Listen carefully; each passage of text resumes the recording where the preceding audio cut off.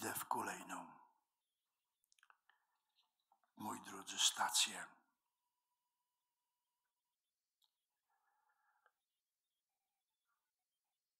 Drogi krzyżowej, bo zostały cztery stacje, trzy rozważania, cztery rozważania. Aby zamknąć już to wielkie dzieło przygotowania do czasów ostatecznych, do zakonu czasów ostatecznych.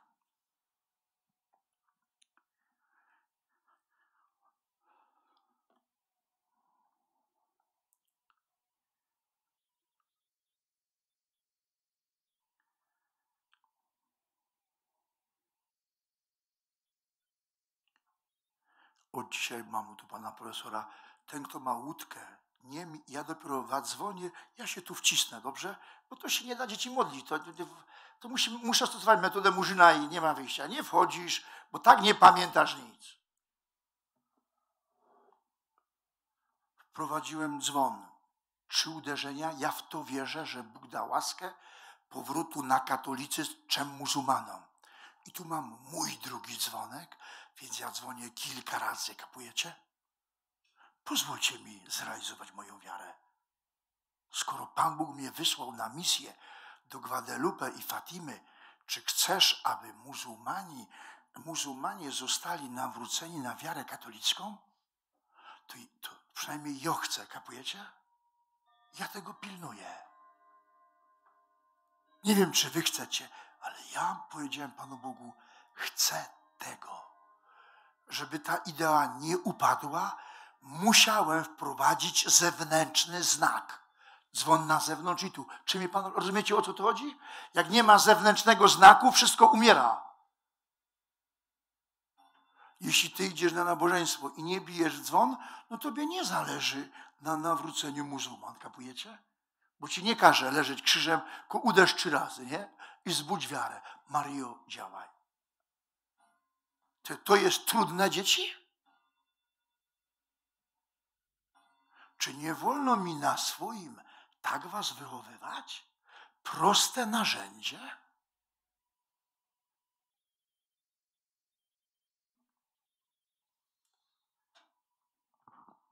Dlatego jak dacie mi matołka, nie zaczeka, leci, po co go opuszczać? Wy nie wchodzicie, nie wchodzicie, bo to tylko w taki dzień jak dzisiaj. No to, czy ja mam wypisać święta, kiedy mam największe ataki demona? On zawsze będzie najgłupszy wykorzystywał od razu. Przy samym początku dzieci. To, to nie ma to, to, to, to.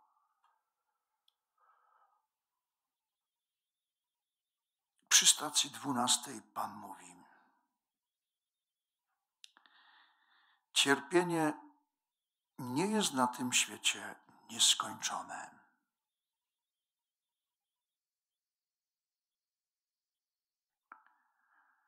Ma swój kres. Śmierć oznacza koniec męki Chrystusa. Ja mam nadzieję, że Pan, Pan Bóg nas tak prowadził jasno, że to na ziemi cierpienie jest trwałe w naszej drodze. Mówiąc, Duch Święty nie jest nieskończone, ma na myśli, że nie trwa wiecznie. Nasze cierpienie tu na ziemi skończy śmierć. Kapujecie? Ale was pocieszę, mamy dzień zaduszny. Na drugim brzegu też jest cierpienie. I o wiele większe. Czyściec i piekła. Ale na ziemi nie ma. Rozumiecie? Bo cierpienie ziemskie ze śmiercią ci się kończy, bo Duch Święty mówi, ma swój kres. I tu mówi jasno, śmierć oznacza koniec męki Chrystusa. Więc nie oczekujcie, że od jutra będzie mieli lektykę. Jeśli nie będzie lektyki.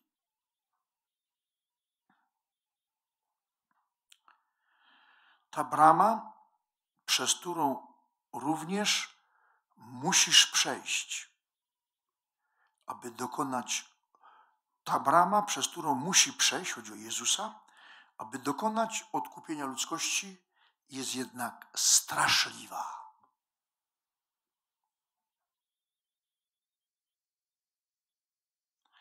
Mamy kilka znaków, z naszej pobożności czy wiary, bo tego już nikt nie przypomina, że śmierć jest straszliwa. Od nagłej i niespodziewanej śmierci modlimy się, zachowaj nas, Panie. Kościół o tym nie mówi, że śmierć jest jednak straszliwa.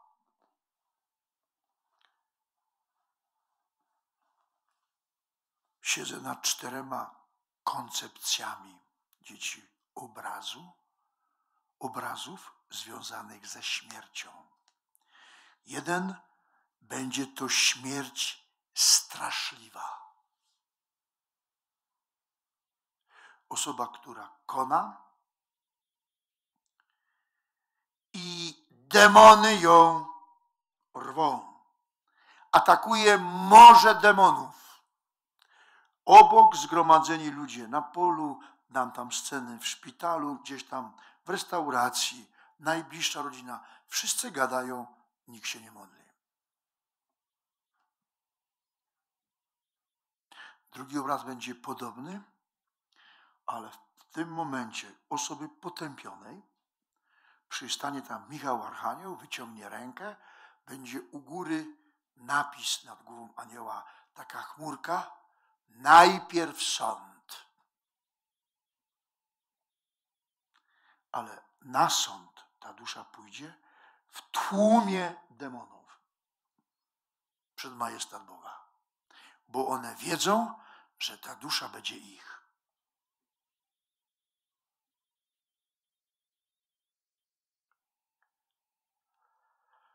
Ta brama, przez którą również musi przejść, aby dokonać odkupienia ludzkości, jest jednak straszliwa. Lęk, jaki towarzyszy umierającym od czasu upadku Ewy i Adama, jest przerażający. Nie powtarzam przy ilu mszach, umieraniach byłem, jak dusze wyły. Dzieci, jak wzywały mnie, dusza wzywała po imieniu. Modliło się w czterech izbach ludzi, mnie małe dziecko, Piotruś, Piotruś, wzięto za rękę, mogę mieć trzy, góra cztery lata. Nie miałem nawet. Pamiętam tę scenę i zaprowadzono mnie do starej Kacickiej i dano mnie w jej ręce. Nieprawdopodobne. Ona woła Piotruś, Piotruś, Piotruś.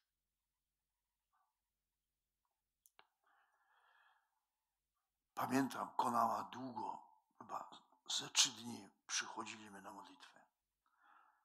Dzieci. Pomyśl, jaką wielką musisz mieć ufność, aby zwyciężyć go wraz z wszystkimi atakami szatana w godzinie Twojej śmierci. Dziś pasowało to orędzie, co mi Pani Agusia przekazała. Musimy ufać. Bóg zawsze chce dobra. Jeśli nie nauczymy tej ufności tu na ziemi, to w godzinie śmierci co my zrobimy? Duch Święty mówi zdanie. Pomyśl, jak wielka musi być ufność, żeby zwyciężyć go wraz z wszystkimi atakami szatana w godzinie Twojej śmierci.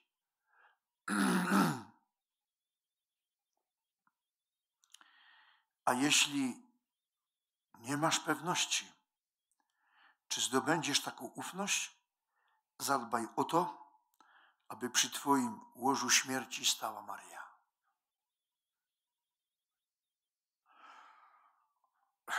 To, co Bóg mówi, my jesteśmy już na końcu biegów,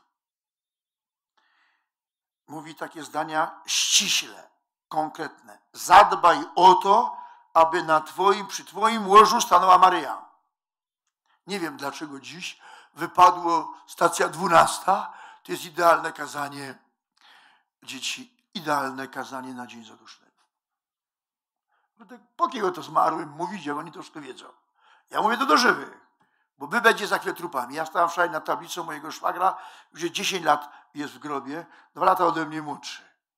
Patrzyliśmy po umarłym dzieci, mnie zostało jeszcze góra 14 lat życia, 16, przy najlepszych wiatrach, przy najlepszych. A to może być już jutro czy pojutrze. Czy wiecie, że ja chodzę ze śmiercią? Czy wiecie, że ja czekam z radością na spotkanie z Panem Bogiem? Boże, jak ja już tam chcę być. Dzisiaj była walka, nie mów tego, tylko po, nie, nie, nie, powie już to kazanie, bo gdzie znowu wczytywać się o zmarłych? Dzieci, ja mam idealne kazanie na dzień. Lepszego nie może być tematu. A jeśli nie masz pewności, że zdobędziesz taką ufność, zadbaj o to, aby przy Twoim łożu śmierci stała Maryja. Pan Mariuszek jest na wszystkich wieczernikach i pani Agusia zapisać kartkę. Obowiązkowo w sobotę robię zawsze przyjęcie obrzędu, przyjęcie Matki Bożej jako adwokata na godzinę śmierci. I zarządzenie wszystkim. To nie miał, na każdemu będę na siłę narzucał, rozumiecie? Nowum, bo my mamy taki obrzęd. Zadbaj o to, aby Matka Boża stanęła przy Twoim boku w godzinie śmierci.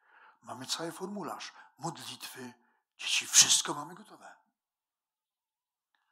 Kto z Was jeszcze nie brał udziału w tym obrzędzie? Ręka do góry. Gdzie, o kurczę, tam trzy baby, tu chłopy są, chłopy jest. Dzieci, no jeszcze, i czym prędzej powołać Matkę Bożą na odwa, na adwokata w godzinie śmierci i na, na nauczyciel na pamięć. Panie, oto ta, którą powołałem na godzinę adwokata, której Ty sam zawierzyłeś wszystkie, całe swoje życie, ja jej oddałem wszystko i ona przed laty, ona wzięła za mnie odpowiedzialność. Bo jaką tą aklamację opanować w godzinie śmierci? Żeby taka myśl poszła, oto mój adwokat. Zarządczyni dóbr, żeby tak nami kierowała za życia Matka Boża, żebyśmy nie skijali wieczności. Mamy fenomenalny obrzęd. Duch Święty nam mówi dzisiaj, że, że mamy zadbać o to, aby przy Twoim łożu śmierci stanęła Maryja.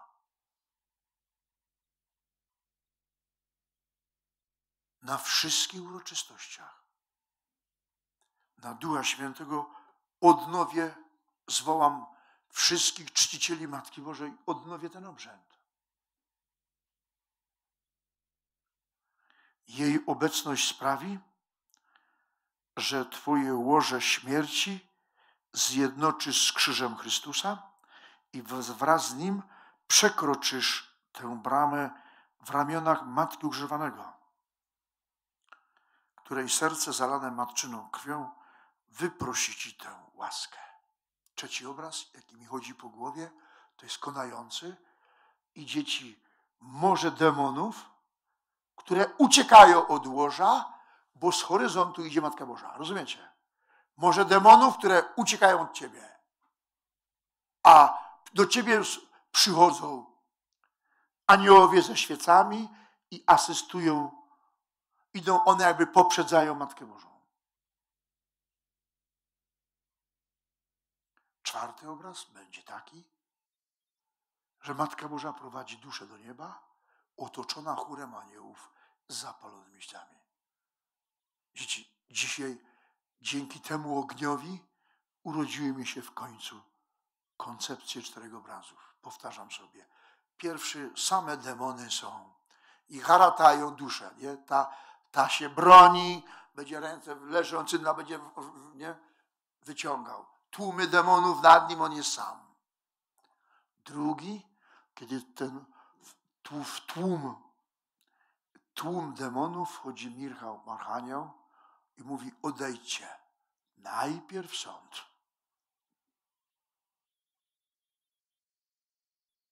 Odejdźcie, najpierw sąd. Demony już wiedzą, że ten jest na potępienie. Bo demony chcą od razu duszę wziąć do, do piekła. Najpierw sąd. Człowiek musi nagi stanąć przed majestatem Boga. Trzeci obraz. Demony pierzchają od umarłego, są na obrazie, a z, z niebios schodzi Matka Boża z aniołami. Czwarty obraz. Matka Boża bierze za rękę i prowadzi duszę, bo tu jest powiedział, której serce zalane matczyną krwią wyprości ci tę łaskę,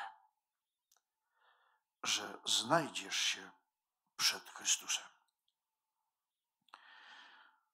W ramionach matki dziecko może znieść wszystko, co jest jej bólem, co jest bólem tego świata. Zatrosz się więc tylko o to, aby każdej najcięższej chwili, a szczególnie w chwili śmierci, być w ramionach Matki Bożej. W każdej chwili więc dzieci na Ducha Świętego, Panie Gusia, już zapisz, zapisać tą uwagę. Powołanie Matki Bożej po raz wtóry. Już teraz mamy pełną świadomość. Już to rozumiemy. Zarządczyni dóbr i adwokatka na godzinę śmierci. Ale z tego wynika, mamy już szerszą wiedzę, że adwokatka na wszystkie trudne nasze chwile w życiu, rozumiecie? Rozszerzamy naszą prośbę i świadomość oddziaływania Maryi.